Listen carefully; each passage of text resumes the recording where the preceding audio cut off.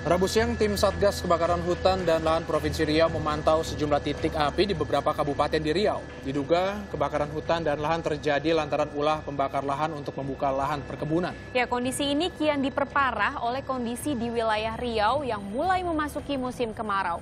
Satelit Terra dan Aqua milik BMKG Kota Pekanbaru memantau terjadinya peningkatan sejumlah titik panas. Ya, hingga kini luas lahan yang terbakar sudah mencapai 843 hektar. Pemerintah Provinsi Riau telah tetapkan siaga darurat kebakaran hutan dan lahan 2019. Penetapan ini akan berlaku hingga 6 bulan mendatang.